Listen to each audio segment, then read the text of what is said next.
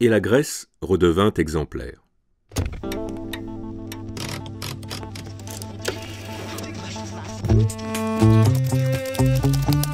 Éditorial du Monde diplomatique de novembre 2021 par Serge Alimi, lu par Jean-Michel Dumais. Athènes vient d'offrir un Noël anticipé à ses armées, 24 avions de combat Rafale et 3 frégates dernier cri, en attendant des F-35 et des hélicoptères Sikorsky, sans oublier drones, torpilles et missiles. Les officiers grecs ne seront pas seuls à la fête puisque des groupes d'armement français, d'assaut en particulier, compte au nombre des principaux fournisseurs d'Athènes.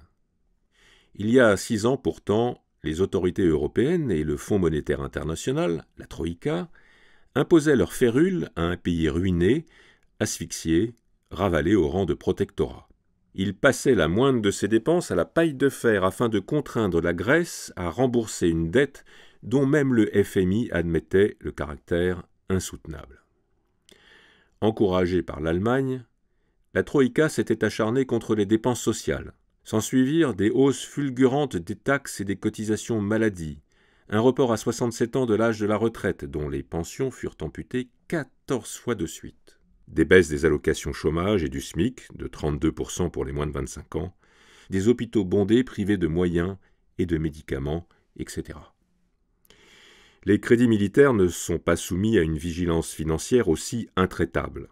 Leur part est en effet passée de 2,46% du produit intérieur brut de la Grèce en 2015 à 2,79% l'an dernier, le record de l'Union européenne. Pour autant préparer la guerre, les Grecs doivent tenir à la paix. En vérité, le pays se juge menacé par la Turquie qui multiplie les provocations en Méditerranée orientale et qui, depuis bientôt 50 ans, occupe illégalement une partie de Chypre, ce qui n'empêche pas les deux États rivaux d'appartenir à la même alliance militaire, ni Berlin de compter au nombre des principaux marchands d'armes d'Ankara.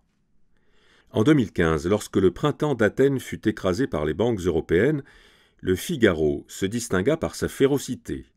Il estima que même exsangue, la Grèce, un patient qui préfère gifler son médecin, devait régler rubis sur l'ongle ses créanciers, faute de quoi, s'indignait le journal conservateur, à qui la quasi-totalité des médias du pays emboîta alors le pas, chaque Français paierait 735 euros pour l'effacement de la dette grecque.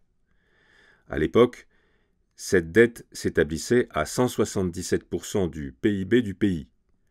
En décembre dernier, elle a dépassé les 205%, mais le Figaro a cessé de s'inquiéter pour les créanciers européens. Pourquoi?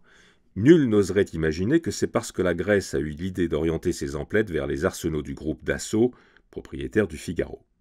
Toutefois, le happy end ne sera complet que le jour où des sous-marins turcs achetés en Allemagne couleront des frégates grecques fabriquées en France. Athènes se résoudra alors sans doute à racheter aux Chinois, à qui il a dû les vendre sur injonction de la Troïka, des ports grecs où abriter ses navires et le couple franco-allemand ayant démontré sa plasticité, l'autonomie stratégique de l'Europe sera presque réalisée. Le monde diplomatique. On s'arrête, on réfléchit.